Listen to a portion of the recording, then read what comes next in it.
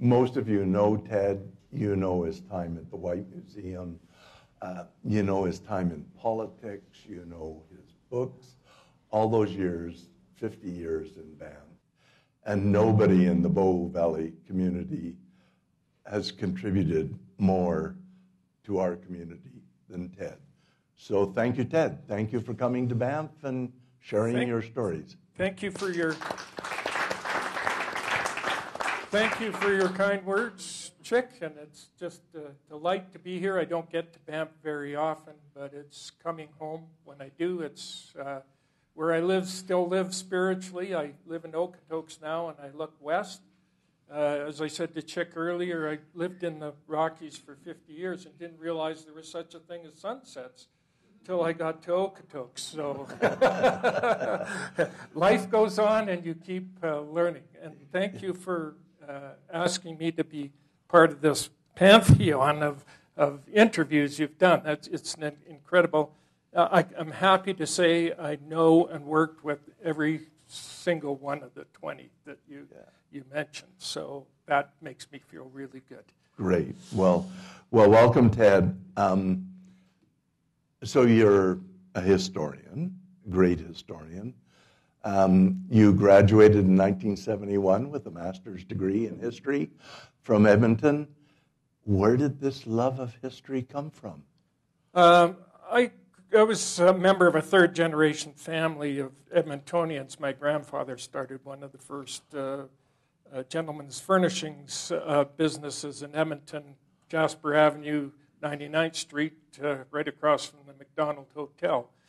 So, as a young lad, I, uh, my father managed the business, and on Saturdays, when his uh, accountant wasn't there, he would take me to his store, and upstairs in the store, beautiful store, was an Underwood typewriter that I could use on Saturdays when the accountant wasn't there. So I started by copying uh, stories from Field and Stream and Outdoor Life that my dad had a collection of. Got a feel f- for writing, and even as a, a, a young teenager, uh, made some feeble efforts at uh, trying to improve. But when I got to the University of Alberta in 1964, I decided that I, I didn't know what I really wanted to do, but I thought, oh, I'll go into education. That's a, a good field. So this was the first years of the baby boomers arriving at U of A, so there was lots of us. So I went to the uh, to the education building to sign up, and there was a line around the building. So I said, that's going to take two hours to get through that. So I said, maybe I'll go over to the arts department and see if there's as big a line. So I toddled over to the old arts building, and no, there was no line at all. So I said, well, maybe I'll sign up for an arts degree and, and become a teacher later. So I did, and I began to take some European history courses, and I just absolutely loved it. And then I got to my third year, and I thought, ah, maybe I better take a Canadian history course. At the University of Alberta at that time, there was two great Western Canadian historians who both had the same name. There was Lewis G. Thomas and Lewis H. Thomas, both uh, professors of Western Canadian history. And they just absolutely enamored me with, uh, with uh, history, and I was, I was hooked at, uh, at that point. So uh, uh, my interest in history came rather late, but it was deep. Good, good. And very quickly after graduating, you ended up here in Banff with Mary Alice Stewart. Can you tell us how you got to Banff? Well, first of all, it wasn't that quickly. It was a year, which was far too long, because I was working selling textiles, which wasn't my forte, shall we say. Uh, one day I got a, uh, a call from my thesis supervisor, who was Lewis G. Thomas, uh, who said, uh, I know a lady in Banff, uh, and uh, they're looking for an archivist, and I thought of you. Would you like to go and meet her and uh, see if she'd be interested you in you and you in her? And I was totally flabbergasted because even though I'd done quite a bit of research in archives on my thesis, I, I wasn't a, a trained archivist. As a matter of fact, there wasn't probably 10 of them in all of Canada at that time. And so I said, sure, of course. So one March day in 1972, I trundled off from Edmonton, came driving into Banff. It was one of those perfect March days. And uh, got a speeding ticket coming down Banff Avenue. I, was, I, was, I was anxious to get here.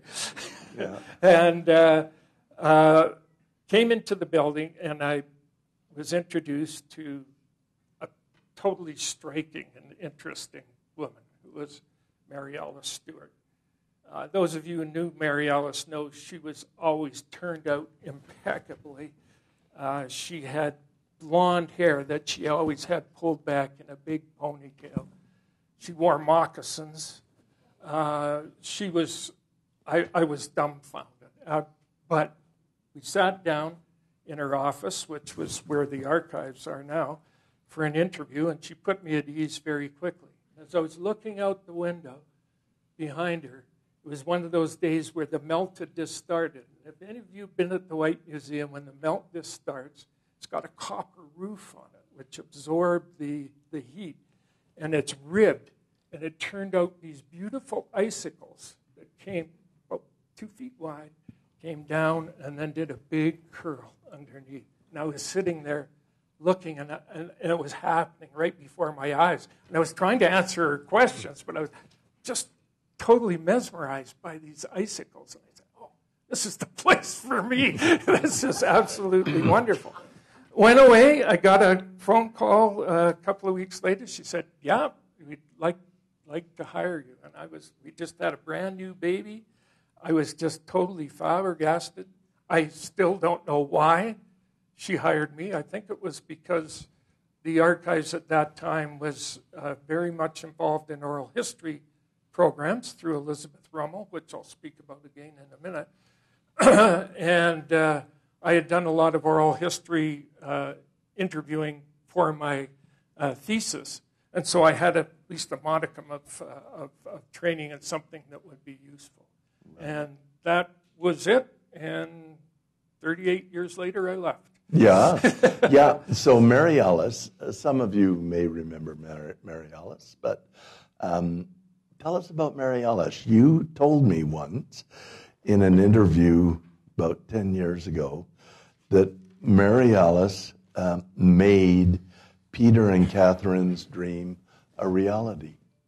I think that's true to, to some degree. I may have been making too great a point of it, but certainly she was a major catalyst in making it uh, come true, particularly the archives, because the archives was not part of Peter and Catharine's original plan.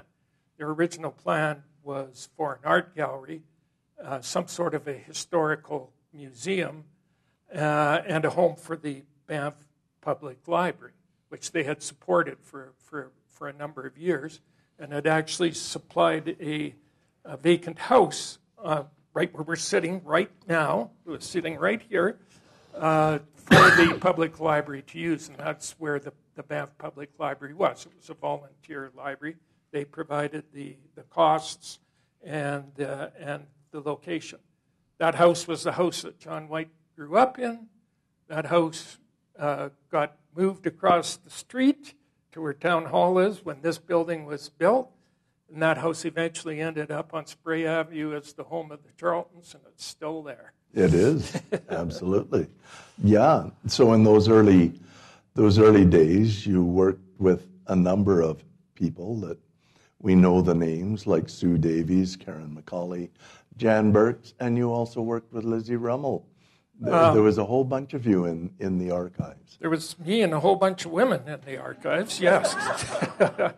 Mary Alice had a penchant for men, not for women. She had a lot of women working for her, but at the end of the day, uh, I was her fair haired boy. I, I, really was. Uh, when I think back on it, I was extremely lucky to be the only male in the, on the, well, no, Ed Jameson was the head of maintenance. He was here too. But literally speaking, um, uh, I, I, was in the right place at the, uh, the right time. I had the good fortune to work with, I, I never worked with Sue Davies. Sue had left uh, already.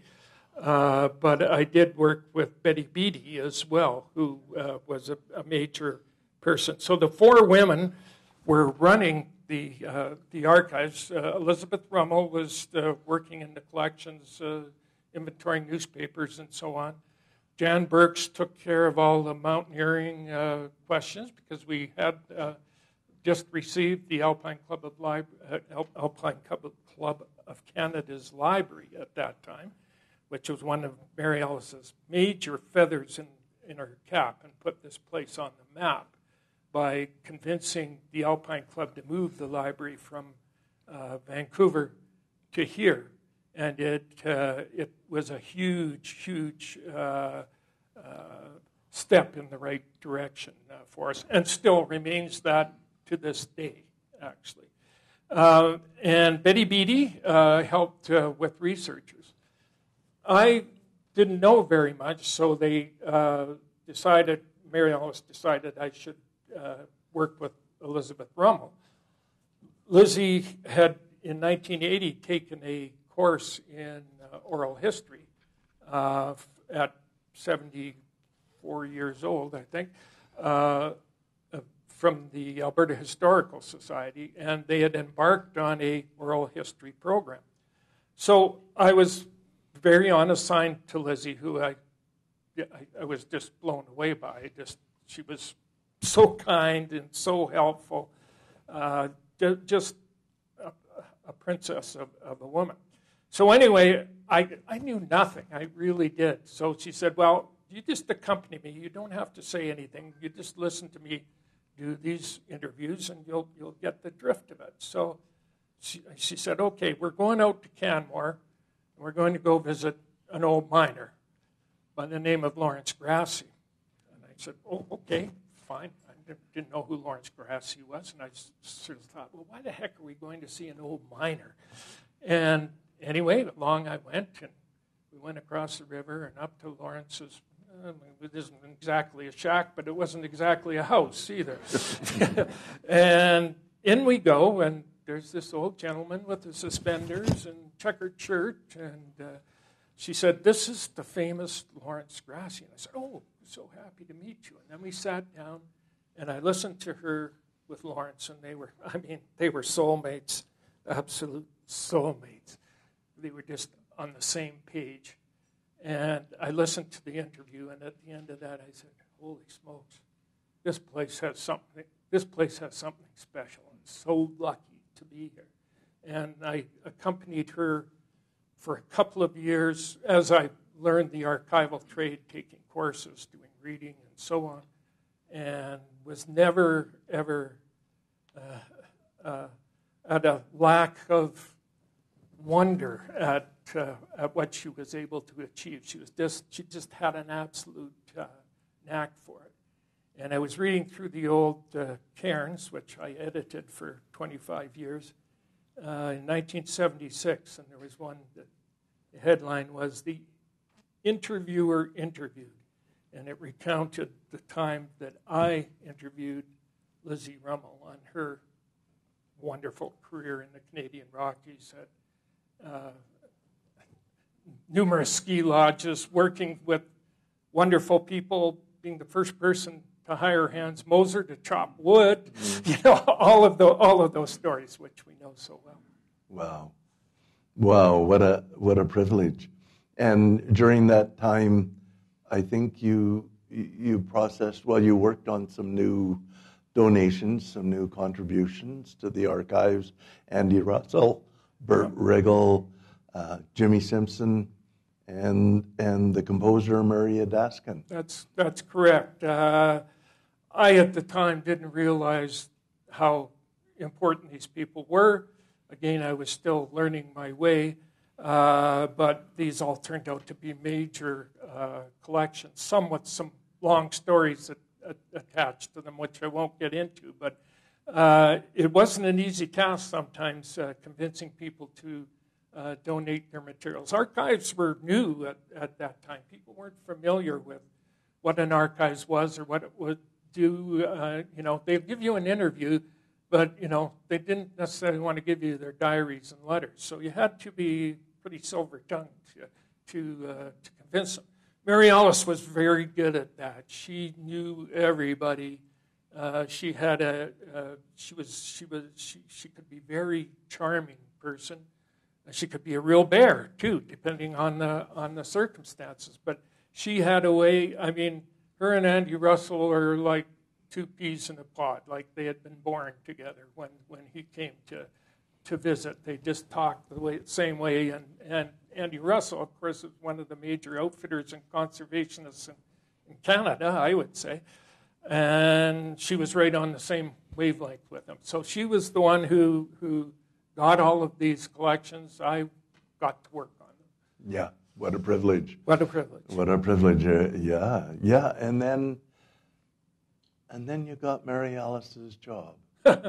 Yeah, Yeah, uh, yeah. Do you want to tell that story? Yeah, I'll, I'll tell it briefly. It's a sad story. It is a sad story Uh, how Mary Alice Yeah. lost As- her uh, position. Yeah, uh, as I as I said, Mary Alice had another side to her, and I think it, it, it was to her, to her to her detriment when it came to the board of the museum and Catharine in, in particular, which was very sad because, as you probably know, Mary Alice had worked side by side with Catharine after Peter died to build this place. Uh, and it was Mary Alice who convinced, uh, convinced uh, Catharine that uh, they should start an archives even before it was built. It was in the house that was on uh, this location. First in the basement, and then when they moved it across the street, it was up on stilts, so it was up in the attic, was where the first archives were. And uh, so she convinced Catharine that when the building got built, and in the meantime, Peter died in 66, so she became uh, Catharine's go to person, uh, meeting with Philippe de La Salle on the, on the building. She, did, she toured all over uh, eastern Canada and eastern U.S., looking at the few archives and institutions like this that were out there to try to get uh, uh, something that would work here. And this is the result, what you, what, what you see here. So she was very successful in what she did. And uh, then she was the director after, uh, well, even before and, and uh, after the building was uh, opened in 68. And uh, there was four people on the board, Eldon Walls, uh, Cliff White, Don Becker, and uh, um, what was Bill's name? Uh, Sid Balance's son-in-law. Um, any, anyway, uh, yes, that's right. And um, uh, Mary Alice, uh, as at the time I came in '72, was very involved in the national. She was on the National Library Board, which was a big responsibility. She's never been a librarian. She was on Canada's National Library Board. Think of that. And she was on the Permanent Geographic Names Board of Canada with special uh, interest in mountain names. So a lot of the mountain names that were being agreed upon at this time came, came from her. And uh, the board, she wasn't a very good communicator with the board. The board only met four times a year, and uh, uh, they didn't know what she was doing. So Eldon Walls, who was, who, who was Catharine's business manager and the foundation's business manager, would say, What's she doing? Where is she going? And so on. I said, I don't know. I don't know a thing. I work for her. I don't work for you because I didn't want to get in, in hot water. And but as it turned out, thing that really got Catharine's ire was that Catharine and Peter had always thought when they built the museum, they would publish a newsletter. Something pretty simple. Was to be called the Cairn, and she said it would be a beacon to show the way to people of what we're doing in the, in the mountains. And I don't know why, but Mary Alice refused to, to, to do it. And so they fired her. I got a phone call one morning. I said, Come over to Eldon Wall's house. We want to talk to you. Uh, you know, I was still pretty green. uh, and they said, uh, Mary Alice is gone. We want you to take over as the head archivist. And after I picked myself up off the floor, of course, I said yes. And that's how the, how the story started. Yeah. Yeah. Yeah. So just four years after coming to Banff, you were the head archivist. I was the head archivist without being a, really an archivist, to tell you the truth, yet. Uh, I did become one, but uh, yeah, I was pretty green, as I say. Yeah. And then you worked with Catharine. So you would be Yep. reporting directly to Catharine and No, no, No? Catharine wasn't someone you reported No, directly to. okay. No, you, you sat down and had a cup of tea with Catharine on, on occasion, but Catharine was on the board. Yeah. So, yes, I did report to her as part of the board, but Catharine uh, didn't speak much at board meetings. She let Eldon know what she wanted, and Eldon would uh, say. Catharine was a very quiet person, a gentle person, but a so so intelligent person. And one of the most interesting, interested people that I ever met. She was interested in so many things. And she was so self effacing. Uh, I mean, you, you, you couldn't believe it. I'll, I'll tell a little story. I, uh, about three years after I got here, uh, the Banff Continuing Education Council was going, and they approached the Whyte to say, Could you offer a course at the Whyte Museum? And so the board talked to me and said, uh, Could you do a, a course on the history of the Canadian Rockies? Which I'd started to study about two years previously. And I said, Yeah, well, I'll, I'll give it a shot. And so uh, it, it was sanctioned by the, uh, the committee, and I started offering a course called The Anatomy of the Canadian Rockies. Uh, eight sessions, kind of like what you do in a way. It was in, in the archives, and there was about 20, 20 people in there. And uh, so they all signed up through continuing education. I didn't know who was coming. So the first, first uh, uh, session, I go to the front. I'm nervous as hell anyway because I'd never done anything like this. And I look out, who's sitting in the front row? Catharine Whyte, with her notebook and her pen in her hand, ready to start writing. Because Catharine was the ultimate note taker. She made notes about everything. And she also kept everything, too. Thank God for that. Yeah. Uh, and uh, so here I'm standing up there thinking, what am I doing here? Here I'm lecturing to one of the people who I'm going to be talking about in my, in my presentation. And she actually looks like she's interested. She never missed any of the eight lectures, and it's just so complimentary. Good. Oh, I didn't know that. That's wonderful about David Thompson and so on. And so that's that's the way Catharine was: self-effacing, down to Yeah. earth, kind. Um, my best day ever, I can, among my top five anyway, was in 1977 when Catharine called and said, "John and I are going out to out to the centennial celebrations for the signing of Treaty 7. Would you like to come? Oh, would I like to come? And it was a gorgeous September day. Uh, and we went out, drove out Catharine's Mercedes. John drove out. Catharine sat and looked at the countryside. I sat in the back seat. And uh, we got to uh, the crossing, and there was thousands of people there. You can, you can imagine. And we, we, she said, let's go up in the hillside and uh, get away from the people. We walked up the hillside and just sat in the short grass prairie and watched this whole thing unfolding below us.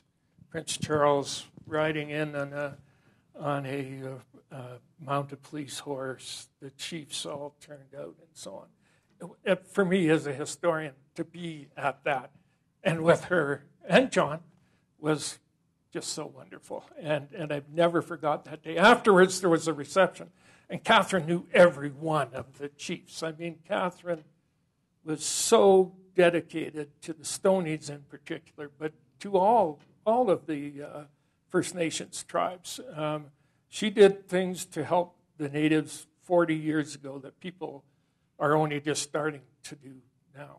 Uh, many people don't know that she started a school up in Cold Lake for, uh, for native artists. And uh, one of her proteges, Sarain Stump, who was a Cree who went to school there, she, she, he would come and visit. She'd, she'd help him. She just did absolutely everything. And then he drowned in California in a surfing accident. That was just absolutely heartbreaking. But Catharine had a, uh, a lot of proteges. Uh, Roy Anderson would be one. Roy taught her to ski again after uh, she went back skiing at Norquay, and she never forgot that.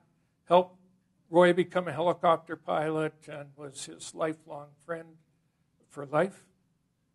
Jim Thorsell, sitting back there, who is a noted conservationist, as was Catharine. Catharine was a very early uh, believer in conservation uh, and stood behind her, uh, her, her, thoughts.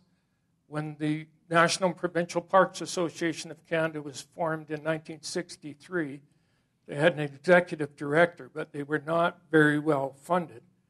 And Catharine stepped forward and paid the salary of the executive director for a number of years so that it could keep going. And this is CPAWS now. And CPAWS might not have exist if she hadn't have, uh, uh, hadn't have, uh, done that. Uh, Doug Robinson was, was another one who she helped uh, uh, with his chalets and so on. Very, very close one. Edward Cavell worked with with Catharine in her, in her house on his on the Harmon photographic collections and some of his own projects uh, before he came to work for the Whyte Museum. So she, she helped those people and a lot of other people that we will never know. She built the Margaret Greenham Theater in the, in the Banff Center. She built the hockey rink in, the, uh, in Banff's, the original hockey rink in Banff's uh, uh, uh arena. Never once having her name attached to those things, never wanting to be recognized. In fact, uh, saying, No, I don't want to be recognized. Marvelous, absolutely marvelous. Wow. She was a remarkable woman, truly. And you were privileged to work with her closely for a number of years. Um, yeah, and then she died in 1979. And uh, shortly after, you told me that Eldon Walls, who ran the business for Catharine and for the museum, Eldon Walls left. left. Yes. Yeah, he worked for her, so she was gone. Yeah, he was staying while she was still alive. He wanted yeah. to move to the coast for a number of years, but of course he wouldn't leave. He was totally dedicated to her and was a, a very. Catharine was not never thought about money really. Money was not important to her. It's what you could do with it was important, uh, but she needed somebody to, you know, keep track, uh, as it were. I mean, when Catharine died, we found maybe a hundred uh, First Nations items in her house that had been pawned. You know, and you had to keep track of that. Ellen Ellen Anderson did a lot of that work as uh, as yeah. well. Uh, I mean, she she that's just the way she was. Yeah. So uh, yes, Eldon left, and so again I met with the board unexpectedly, and they said, um, "Well, we're going to get a, a new business manager, but would you?" take it over as in addition to your work as head archivist uh, till we till we can. And I said, Yeah, I'll, I'll do that. I don't know anything about it, but I didn't know anything about being an archivist when I got here either. So I'll, I'll give it a shot. So, yeah, you know, the next day I was managing the Buffalo Block, the Whyte Block, the, the Whyte properties, and, you know, millions of dollars worth of business, which was important because these businesses have been donated by Catharine and Peter to the foundation to provide the money to operate the foundation as a charitable organization. Catharine was deathly against relying on the government for any support of the museum. She came from a background where that was not done in Boston. Uh, her family had supported the museum, and if she had a museum, she was going to support the museum, and that's the way it was. So these, they donated these properties, and they became the basis of uh, what is now still the, the, the, funding for the Whyte Museum, with a few government grants along the way. yeah. So you're managing these properties, but you're also managing the archives, yes. the museum, yes. the art gallery, yes. uh, the heritage properties, and you, you're also raising a family. Um, and we'll get to it later, but you're writing books. You were one busy guy. Uh, I was. The, not the heritage properties uh, started to come to us after Catharine died. We didn't Did have they? them before. Oh, What happened is in uh, 1983 there was a master plan. The board did a master plan for the uh, for the museum because they could see uh, that uh, we didn't have enough space and that interest was growing. Uh, the space we're sitting in here was the Banff Public Library, and Catharine, as I mentioned, had supported the original library. And when this building was built, the library moved in here gratis. So we were we were paying the salaries of the librarians and providing the space and so on. And the board eventually negotiated with, uh, uh, with the school board to take over responsibility for paying the salaries, and we, we kept the space. But uh, it became obvious that the library needed more space, and we needed more space for the, uh, for the museum after Catharine passed because we had this great museum collection and nowhere to show it because it had been part of her collection, a lot of it, and we had taken in quite a bit as well. So uh, we did a, a, a, a, master plan, and it said that we needed to expand and that the space would be ideal. So we worked out a, uh, an agreement with the with the uh, school board that we, the Whyte Museum, would provide a piece of land to the school board and they would build a new, uh, a new library. And that's what happened uh, uh, in 1984. Did a fundraising and uh, built the li- library and added a senior center into it too at the, at the same time. And that's still, a, of course, great facility, which still sits on Whyte Museum land, but that's fine. That's Yeah. the way. Uh, uh, that's the way she would have wanted it, and that's the way the board uh, wanted it. So, uh, and then uh, the master plan suggested that I be made the executive director and that we have four curators curator of, uh, curator of art, uh, curator of photography, curator of art, and Ewan, who's around here somewhere, curator of photography at Cavell, who's here, and head archivist, Don Borden, uh, was, was hired from Vancouver, who, where he has returned after a 20 year uh, hiatus here. and Jon Whyte was the curator of heritage uh, heritage collections. So he was responsible for the for the exhibitions in this space, which originally were put in place for the Park Centennial in 1985 and opened on the same day, the day after the Cave and Basin was dedicated, and the day after that, Windy Cabin was de- uh, uh, dedicated by the Warden Service. So uh, 85 was a, a, a, big, a big deal, uh, but we still needed more space. And so the board embarked on a, a fundraising campaign, uh, originally for $3.5 million, uh, scaled back, uh, for uh, the addition, which Uh, is over there, and the refurbishment of this area. It was a lot of money for a, a small organization. Uh, we were always up against the Banff Center. I mean, the Banff Center were past masters at raising money. They had a whole department that raised money, and they were really good at it. And so we were kind of the second cousin trying to compete with it. But we had two very good, let's call them luck or good management. Two good things happened. Uh, Charlie Reed died. That wasn't a good thing. But uh, after a five year five years of work uh, on my part. I convinced his executors to uh, give us the Charlie Reed collection, which included within it the Mary Schäffer collection, because Charlie lived in Tarry-a-While, which he had inherited from Edme Moore, because Colonel Moore, Phil Moore, had bought the house from Mary Schäffer's estate, and with all the collections intact. And we knew they were there, but Charlie would never show them to us. uh, anyway, uh, eventually I convinced the executors that, that they, they should come here, particularly the Mary Schäffer collection. But Charlie had a big collection of Carl Rungius paintings as well, which came eventually, but not right away.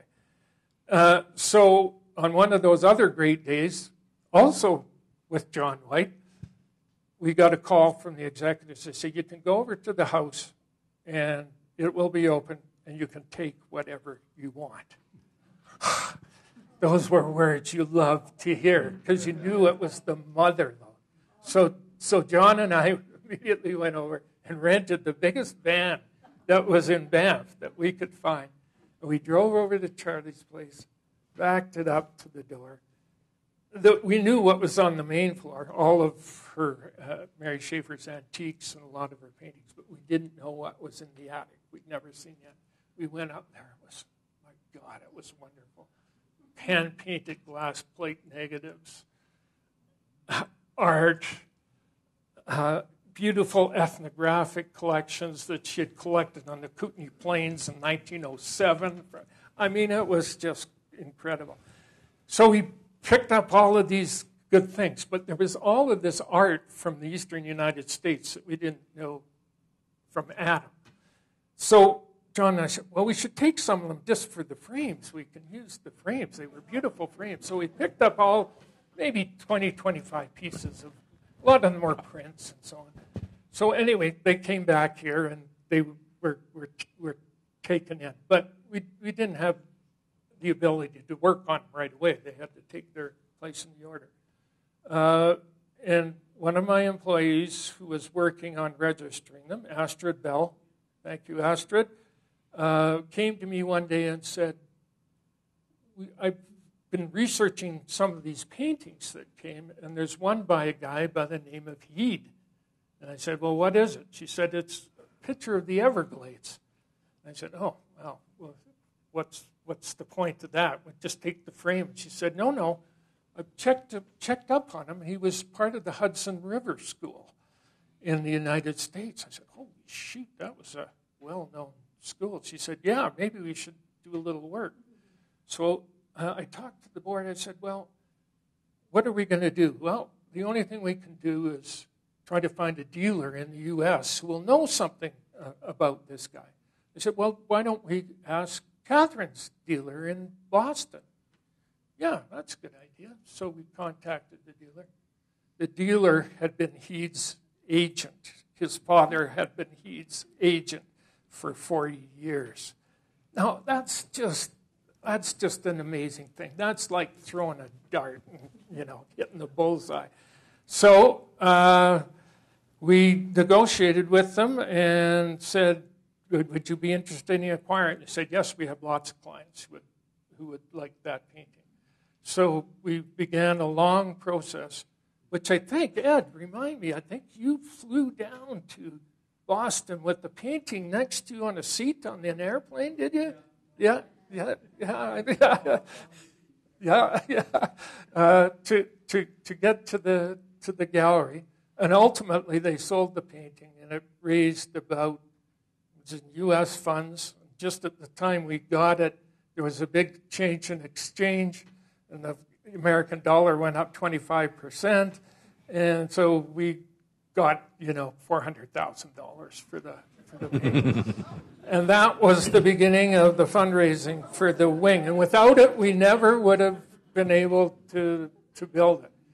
Still, we had a long way to go, and it took a long time. And the second thing that happened is that I was a uh, I'd been appointed by the provincial government to be the first chairman of the Alberta Foundation for the Literary Arts.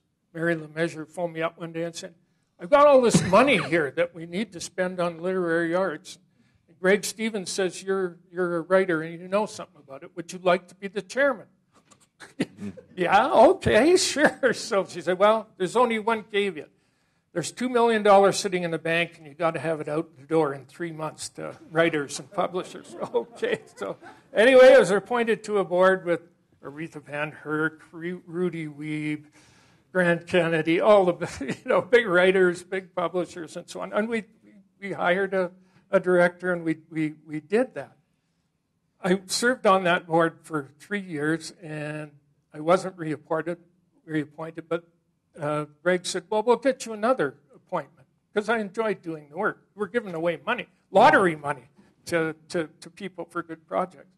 We'll appoint you to the Recreation Parks and Wildlife Foundation. I said, Good, I'd, I'd like, I like that. I'm interested in wildlife and parks.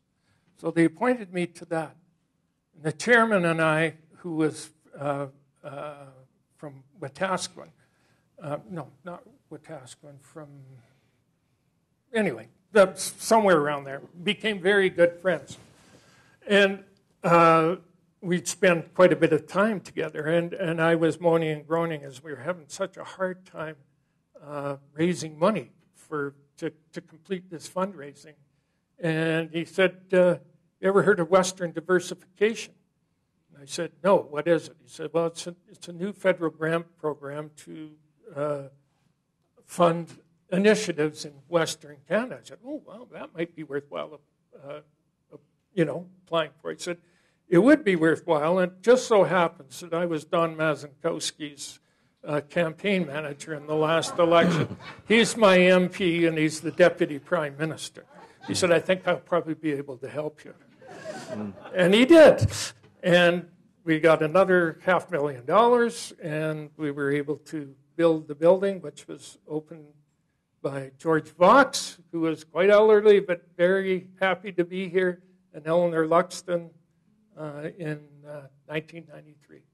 Wow. Sorry, long story. No, no, that's great. these are absolute, you have to realize that these are fabulous stories, and we're getting them on tape. This is, we're doing great historical work here tonight. Uh, thank you. Thank you, Ted. Um, and, and so that brings us up to Peyto Place, I guess. Well, Peyto, the, the idea when we were we knew uh, when we were building the, the new wing that was going to cost substantially more to operate, uh, and we would need more staff. We've been going with about 10 staff, 12 staff, and we were going to have to get up to 20 or so to, to operate it properly. And so the board um, uh, needed to find a way to fund that on an annual basis to pay, to pay it. So uh, Peter and Catharine had uh, left, er, in Catharine's will, she had left two lots right across the street from us here uh, that, were, that were vacant. And so uh, the board decided, well, what are we going to do? We've got a lot of money invested in Royal Trust. It's used to generate a lot of money, but it's not generating so much money anymore. Uh, we had an investment manager by that time. And uh, we've got to decide what we're going to do. And so they decided they were going to build a grocery store. Now, the, the board of the Whyte Museum was a very broad minded, Banff oriented concerned about the welfare of Banff quite apart from the Whyte Museum, is the best way to put it. And for a long, long time, we had a tenant, Dick Keller, who had been our tenant uh, in the Whyte Block on Banff Avenue, where Keller's Foods was. Some of you might remember it. Uh, who had wanted to build a new grocery store in, in Banff. And it, he just couldn't find the space to do it. The board, on the other hand, knew that the people of Banff wanted another grocery store because they felt like they were slaves to Safeway, the, the only game in town. So these two things went together. They, we, uh, I was the, was the man, project manager to build Peyto Place, and we had to, as part of that, uh, build. Uh, how many apartments is there here? Did you say? 14 uh, 14 apartments to meet the requirements that were in place for uh, staff housing. And we also had to uh, put up the money to build 40 parking stalls in the parkade across the street as well. So it was a big, it was a big chunk of money, but it it did it pay off. Uh, we we uh, got uh, a, a really good tenant, somebody we knew well, had worked with for a number of years, and a very good lease, long term lease who he ran it for a number of years and flipped it to Jimmy Pattison, who so he did pretty good too, and uh, and uh, that paid for the uh, the increase in the staff and costs of running the museum. So it was able to keep its self-supporting status that way, and the town benefited, I think, from uh, having that. Eventually, the town bought the the housing authority a number of years ago, bought the apartments from the, the Whyte, and I, uh, it was after I had left, but I, I, said, well, how much did we get for them? And Graham Nunn said, well, it was X, and I said, that's about twice what we paid to build the building. He said, yeah. I said, okay, we did good on that one. and, and we still own, we still owned and still do own the main floor where the grocery store is. Wow. and, and you have to remember that while all of this is going on, Ted is writing a dozen history books, and he's also one of the very main guys incorporating Banff and serving on the council. Unbelievable where he found the time to do all this. So we're going to move on sure. to your books. We've okay. Yeah, yeah. So you've okay. done over a dozen, 15 books. I don't know. 22. We, 22. Okay, we lose we lose track. yeah, we do. Um, but you told me that your first book, Diamond Hitch, was your favorite. That was 1979. That was 1979. Uh, uh, first of all, to answer your question, how did you do it? When people ask me how you did it, I said proximity. When you live in Banff, you're proximate. You're close to home, you're close to work, you're close to politics, you're close to everything. You could walk. You know, you didn't even need to drive. So yeah. there's no such thing as commuting in Banff. Well, yeah. maybe there is now when I uh, cross the bridge, but uh, the ability to do a lot of things uh, that I was able to do, I could do in Banff. I would not have been able to do in Calgary or Edmonton or anywhere else. There's just no doubt about it. So, that. Um, yeah. Yes, the books. Okay, so uh, I had written a thesis. That was the only thing I'd ever written of any uh, uh, any uh, size. But it so happened at that time when I arrived here and started to get imbued with the uh, history of the area, a lot of the people that Lizzie and I were uh, interviewing and a lot of the collections we were getting came from early outfitters and guides who had been central part of the history uh, of, of, the, uh, of the area. So one day, uh, Jon Whyte approached me. Jon uh, worked with uh, uh, at the Book and Art Den, and he and Peter Steiner had started a, a publishing company called Summerthought. And Jon had pub- they had just published the Trail Guide to the Canadian Rockies. Now, talk about getting a winner your first time out. Mm. You know, it's in still in. I think Brian just did the, I don't know, sixth, eighth, tenth, re, tenth maybe tenth, tenth, edition. Re- probably so close to a million copies or something. Anyway, that was their first. But Jon was scouting out more uh, more projects. So he said, "You've been doing a lot of work on outfitters and guides." He said, "Why don't you write a book on outfitters and guides?" And I said, yeah, that's a good idea.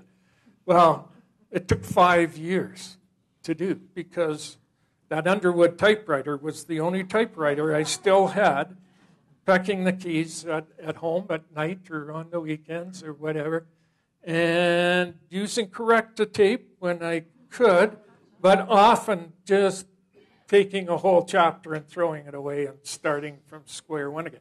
Uh, the, the next year after I was published, Jon approached me again and he said, We have some of Mary Schäffer's writings, and uh, Old Indian Trails has been out of uh, out of copyright for a long period of time. Maybe the Whyte should, as a museum, should publish that and add some of her uh, journal material.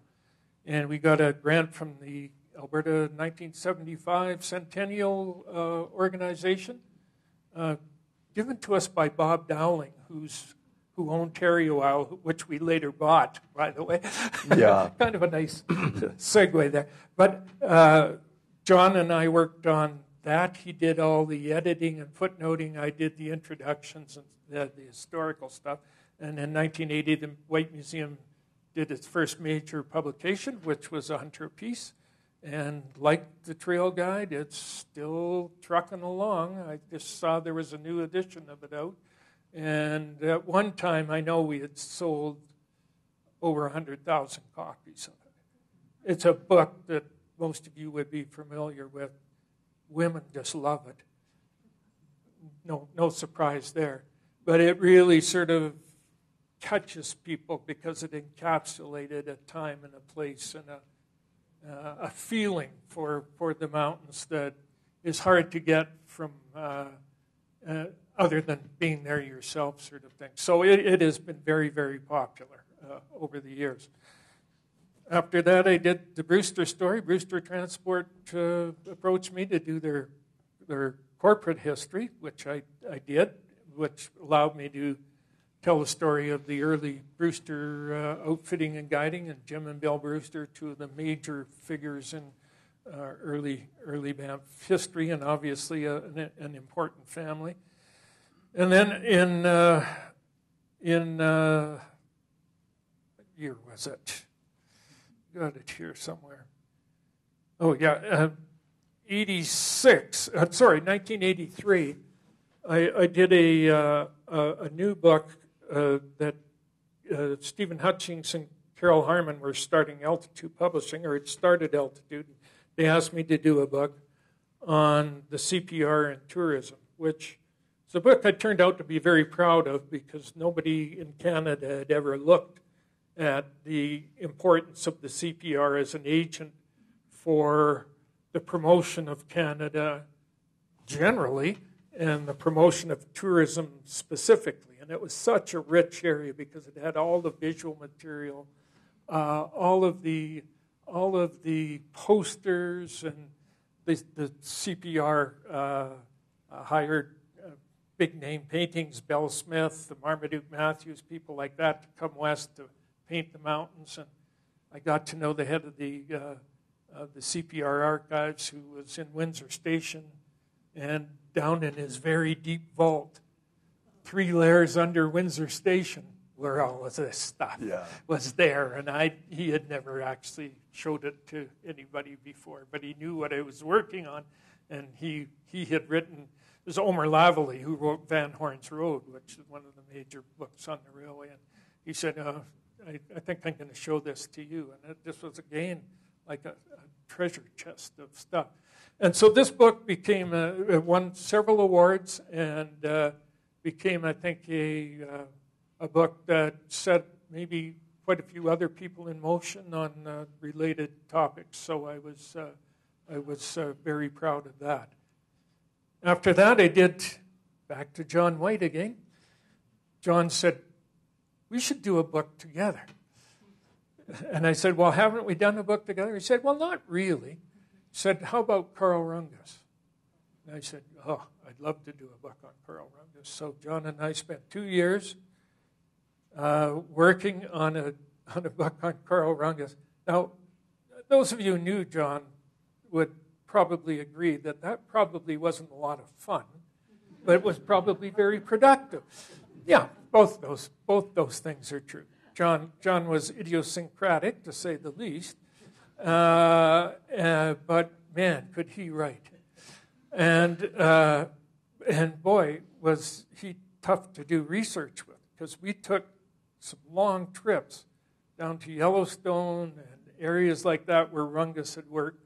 So I would be would be two weeks, me and Jon Whyte together, just the two of us, and uh, you know we, we we survived, you know, there was no iPhones or i you know no earphones in those days, so we had to we had to work it out. But we did. The the, the strange thing was that at that time, Jon worked for me. He was the curator of heritage collections. Previous to that, he'd been on the board of the Whyte Museum. He was my boss. So previous to that, he'd been my publisher. So I'd gone through these sort of four, four states of being with Jon Whyte. I don't think anybody else ever put it quite quite. Uh, Brian No. Patton, maybe I don't know, Yeah. but but uh, it, it was. People say, "Well, what was that like?" I said, "It was like herding cats," you know. but here we produced this thing. I said, "Well, how how are we going to write this? You know, you don't write at all like like I do. Right? No, I mean, I don't write at all like you do." Uh, because he was far the better writer. And, and so I suggested, well, why don't we just try something? Why don't we just do alternate chapters? So we did. We did alternate chapters, then gave it to the other guy. They rewrote it from their point of view. Then it went back to the original again, to the original writer. They made the changes. They couldn't stand from the changes that you had made in the print.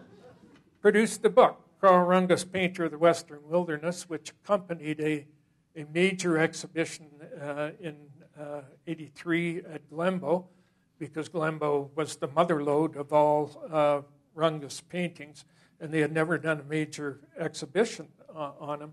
And this, uh, this one was uh, done, and the book was published by Douglas and McIntyre, who were one of the bigger publishers of, of the day.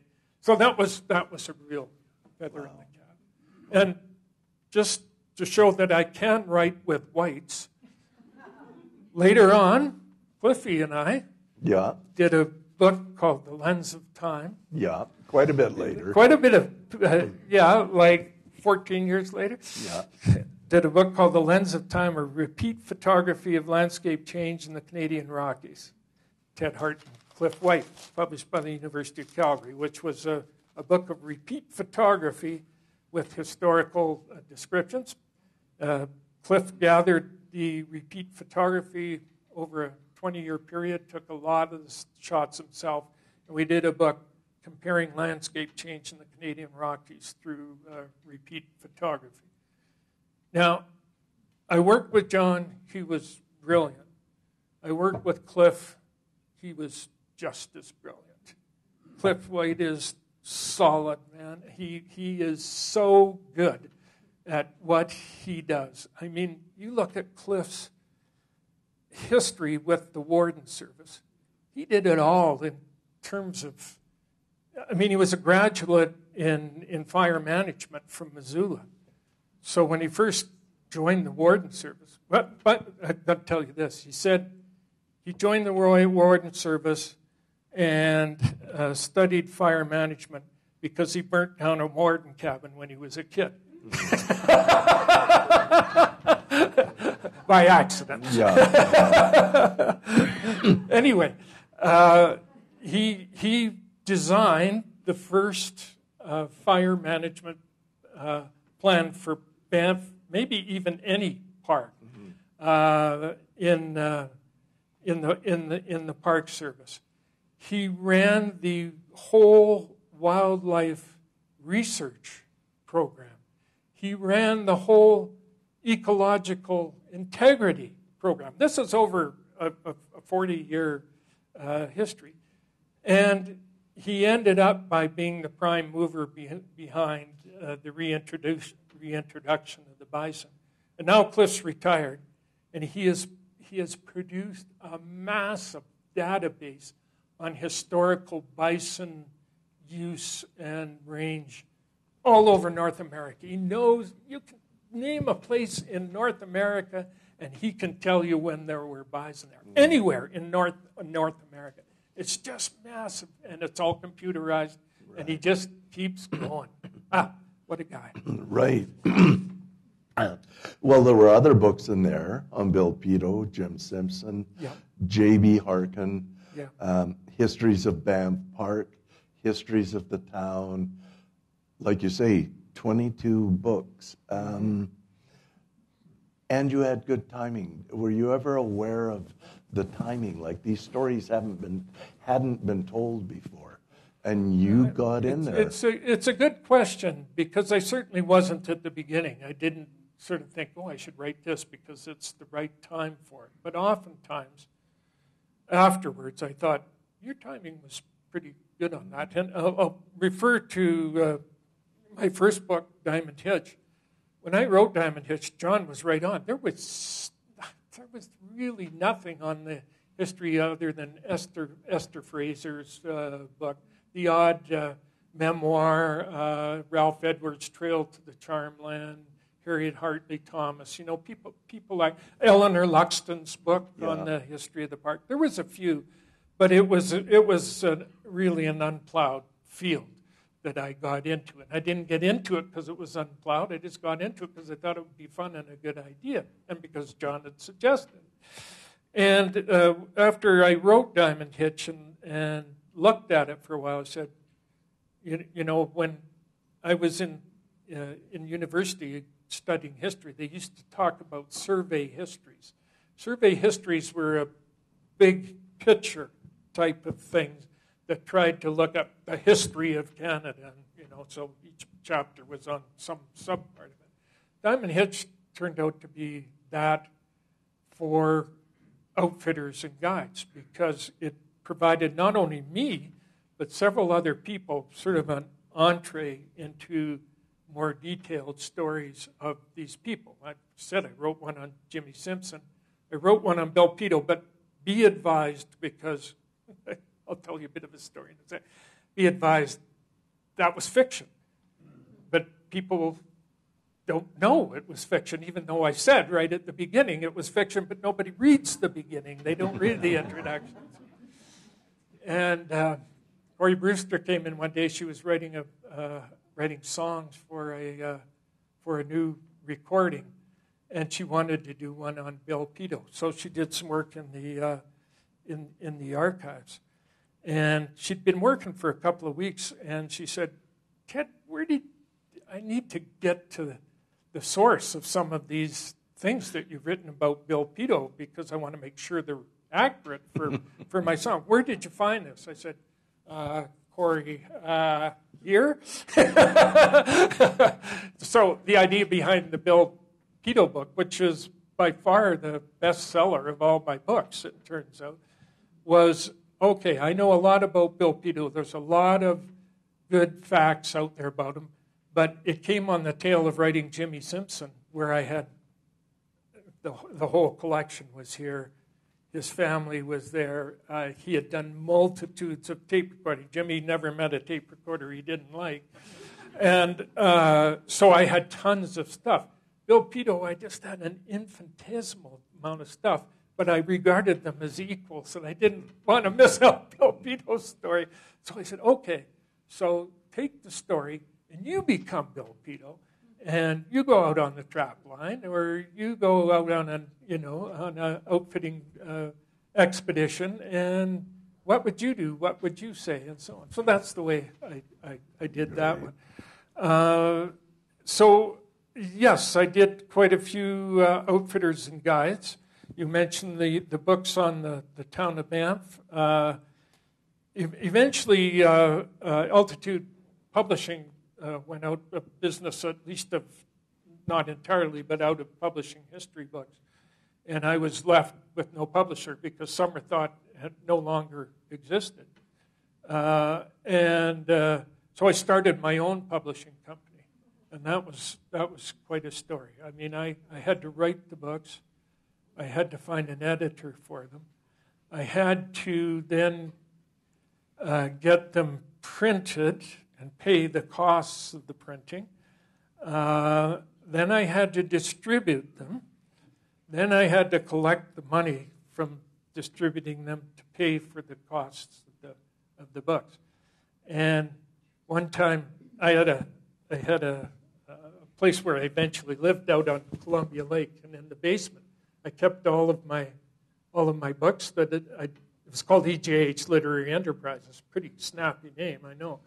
Uh, and uh, I, they were all stacked up there, and I said, maybe you should decide, you know, how much money have you got invested in this? So I started counting up, came to $25,000 that was sitting there. That, and, and I had to move these things. Otherwise, I wasn't going to get paid. So I started a, a twice yearly. Uh, the Book and Art Den was great, and the local people were great. Harder in Calgary, but Jasper and up the Banff Jasper Highway, I'd make twice annual trips selling my books on the Banff Jasper Highway, visiting all of the booksellers and chatting them up and selling my books and trying to collect the money from them later. So that worked for 10 years. I bought a truck, I made money, not very much, but it was, uh, it was worthwhile. Fortunately, Summerthought came back into existence. Right. Thank you, Andrew. right, right, right. Good. Well, let's let's move on. Um, politics. Oh, do we have to? Do, do you want to hear about how Banff got incorporated? Uh, I'll give you a, a, a, How much time have we got? Well, we're going on a bit. How do people feel? You we'll enjoying do, this? We'll do 10 to 15 minutes if you're up for it. If not, yeah, we a won't little do bit it. more. A little Okay, bit more. all right. Okay, so how did Banff become a town or Okay. a municipality? uh, that it's a very simple and a very complex story at the same time. Lots of ups and downs. But it, at the basis of it's a story of leases and land rents. That's the, if you think leases and you think land rents, that's how Banff got incorporated. At the outset, when Banff was created in uh, 19, 19, 1887, not 1885 when they did the reserve, the reserve was all on the other side of the river. Okay. And then they decided, well, they needed a town to support the, the park that they were going to build there. Uh, and so that was to be across the river, but it wasn't to be part of the park. It was to be an independent uh, commercial center to support it, what, much like they have in U.S. parks. And uh, in uh, 1887, when the first Rocky Mountains Parks Act was passed, they decided to expand it from 10 square miles to 280 square miles, and it went all the way out to Lake Minnewanka. So all of a sudden, the town that had started as Banff, uh, which was going to be uh, a commercial town where the lots were going to be sold, became part of the park. So the superintendent George Stewart at the time had he had sold lots, so he had to go out and try to buy them back. He tried to buy them back, but there was some people who didn't want to sell them back. Uh, so the, the, uh, his boss, the federal government, minister, uh, deputy minister, had to get in, involved. And what he did is say there will be, uh, all the lots will be leased. We will compensate the people who, who, who bought lots, and we will take them back. And we will lease them to you. The people, you know, there was a lot of complaints about that, so we came out for a visit, visited the big meeting, and big meeting at the time would probably be 30 people. There probably wasn't more than 50 here. Uh, and uh, he agreed uh, that they would be 42 year, no, they would be 21 year leases, but they would be perpetually renewable. And there became the kernel of the problem of, of landholding in Banff. Not for the people who had them, but for the, for the government, because they were perpetually renewable, meant they could never take them uh, away. And believe me, over the years, they wanted to take them away very, very badly. And they wanted to people to pay for them more. They were nominal rents at the time. Didn't matter a jot until 1960, you know. 75 years later, it became an issue. It wasn't an issue anywhere in between. Everybody was, everybody was happy. Lots changed hands for next to nothing, if you could even find someone to buy them. Then came the post war period. Two things happened. Banff wanted to get the Olympics, so they had to do a big, uh, uh, a big push on ski area development, and the Trans Canada Highway got built. And all of a sudden, in one year, every year, the amount of people would increase by 30 or 40 percent over the previous year. All of a sudden, things started to happen. The economy picked up. Those lots started, even though they were leased lots, started to gain in value. And uh, the government became aware of that in the early 60s and said, This isn't right. People are selling these lots now, and they're, they're, they're going up in value every year. So we're going to, number one, take away the perpetually renewable. And number two, we are going to set a lease rate which is renewable every 10 years, decennial review it was called, and we're going to charge people rents that are 6% to the appraised value of the property per annum. Okay? So they're going from paying $25 to probably paying now three or four hundred dollars in 1960 based on that. So that got people upset and obviously got them thinking about we need to do something about this. We need to govern, you know, govern, govern ourselves. And in 1946, the, the, uh, the Banff School Board, which had always existed, the school boards were never run by, run by parks. The Alberta government gave it responsibility for people things recreation, social services, seniors were to be run by the school board instead of a municipal council. There was no municipal council. So that got people thinking more about uh, local government as well.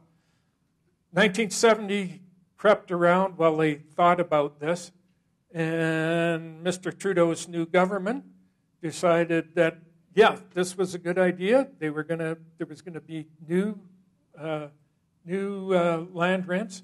The leases were going to be taken away by Mr. Chrétien, who was the uh, minister responsible for parks, and the, the perpetual leases, and they would be substituted with just regular leases uh, like they were giving out to everybody else at that time. They'd stop giving out uh, perpetually renewable.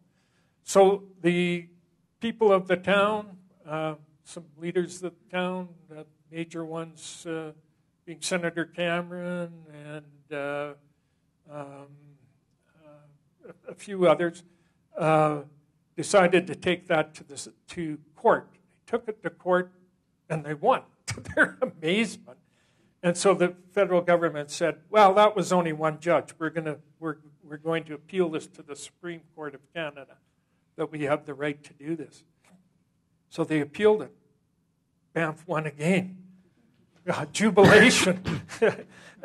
but uh, the, the, the Crown could still do, uh, for the non perpetual leases, a, uh, uh, a decennial review.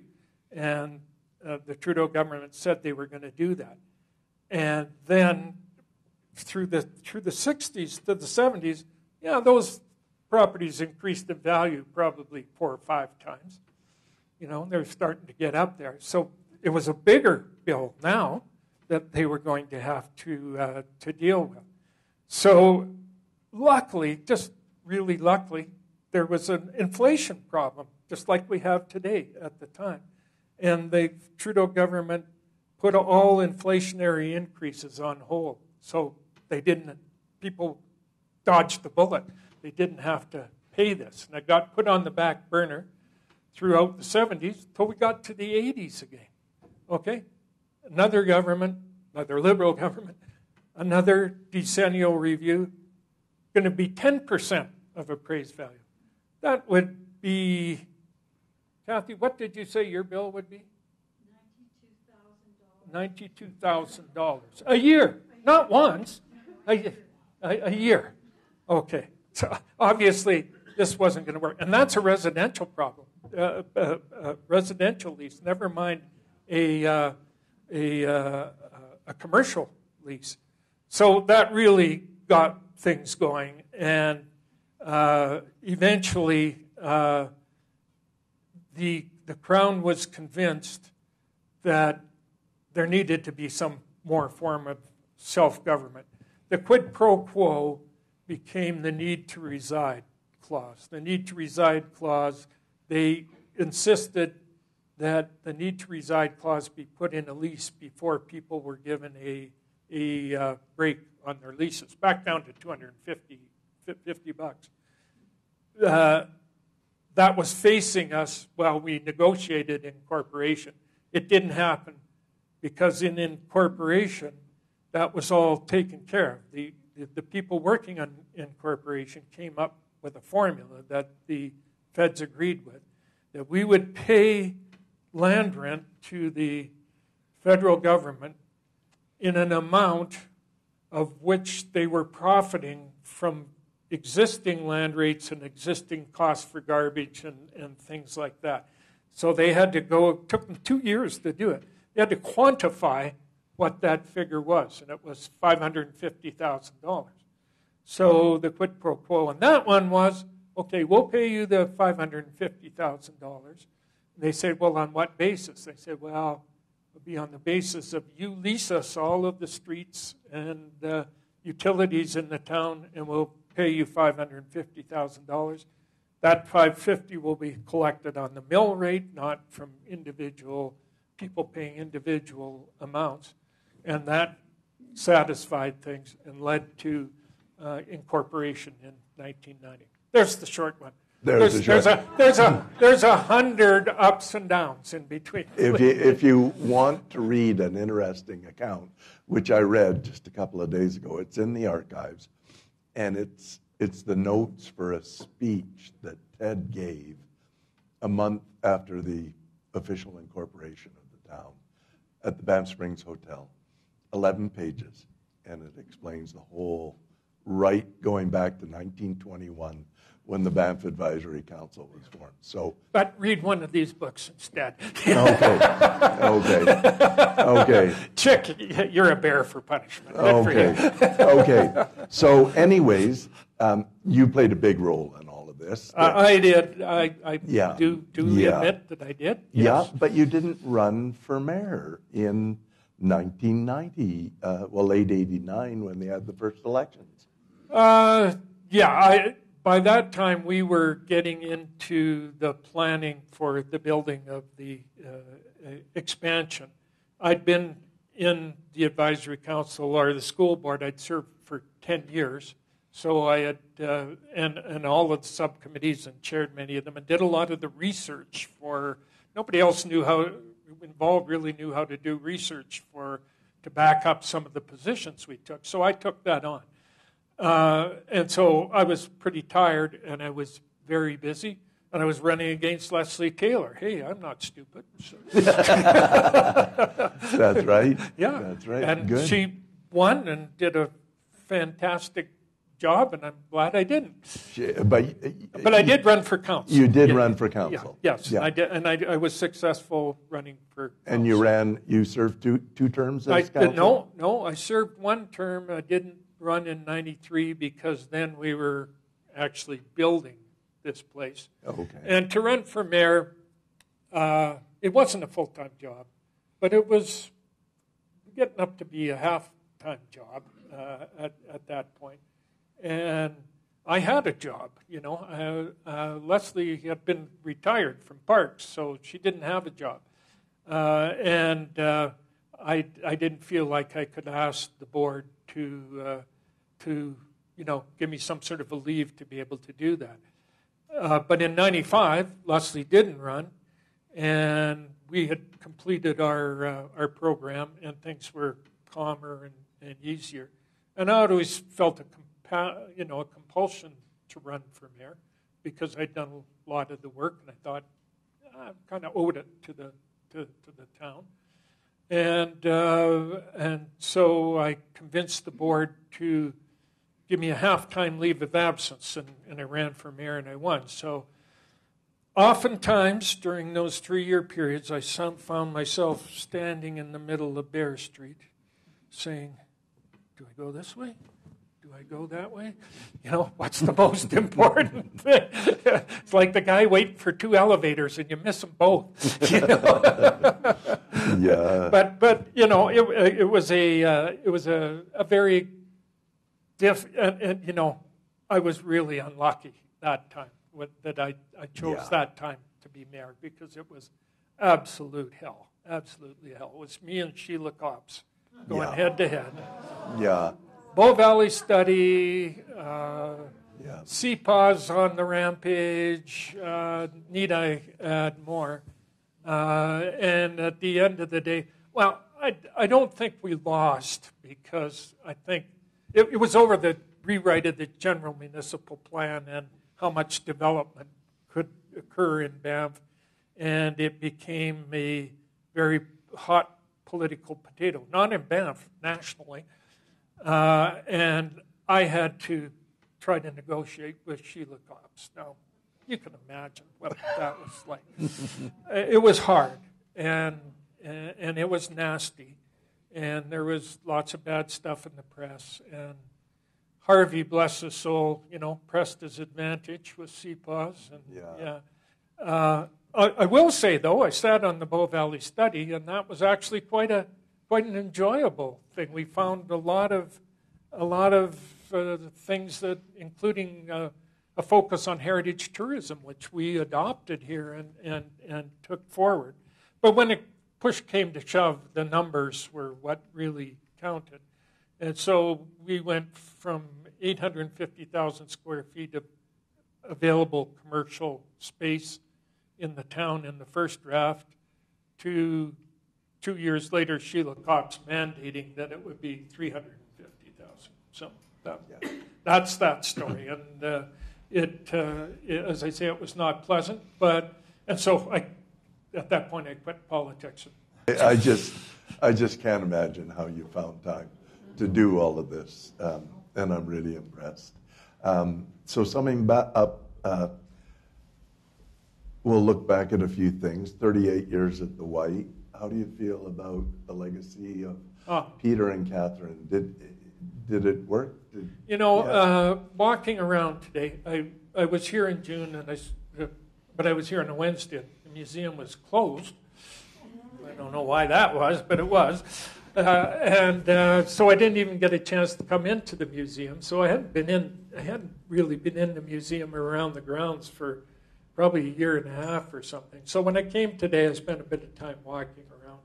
And I was so delighted with what I saw. I just said, Catharine would be so happy with all of this because I've been thinking a lot about Catharine in preparation for this and, uh, and thinking about what her dream was and what her goal was. And I said, well, this is what her dream and her goal was. It's right here, and it's and it's wonderful. And I and I really enjoyed.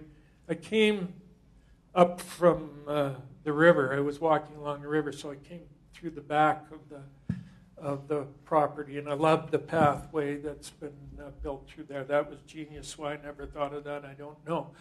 Uh, but the trees have grown up so much that and, and the buildings, most of which I had had a hand in acquiring and helping, you know, preserve and so on, all fit so well into the into the picture that uh, that was presented to me. I said, "That's that's good." And Catharine loved her cabins. I mean, that's where that's where her native friends stayed when they came to visit her. She said, "Boy, she could have a field day now." so yeah. it was all really a good feeling. And I, to be quite honest, I felt the same about the town. I thought the town, when I was here in June, of course, the, uh, the, the streets were blocked for the pedestrian way, and I remembered, you know, Peter Oberlander's 1961 report. He came up, well, the answer to Banff's problem is to have a mall on Banff Avenue. Well, what do you know? 60 years later, we've got one. so I, I liked it, but I know a lot of the people who live here hate it because it makes life difficult getting around for them, especially the old timers who I who I talk to. They, they, but I liked it, and uh, don't tell anybody. Uh, and uh, I thought it worked really well. It took a lot of pressure off things. I thought the given the period that the town's gone through with COVID and, and some of the financial difficulties went through, people's buildings look great. They've all been they to to a building. I didn't see one that looked derelict or or that people hadn't had taken a great deal of pride in in fixing up. And I thought, yeah, this. And I walked over the new bridge which I hadn't even realized was there until I read the sign. I guess it just opened last month. And I thought back to the day, you know, 1885, when George Stewart got here and strung a floating bridge. That was the first bridge across the river, right in that, absolutely dead on in that location. So I thought, eh, that's progress, I guess. In a world that's often filled with negativity, it's nice to hear those positive comments. Thank you, Ted. You're welcome. Um, good. Well, thank you, Ted. Unless you have anything else you'd No, like to thank you. contribute. Thank you. Thank you. This has been fabulous. Thanks. Thanks a lot. Thank you all.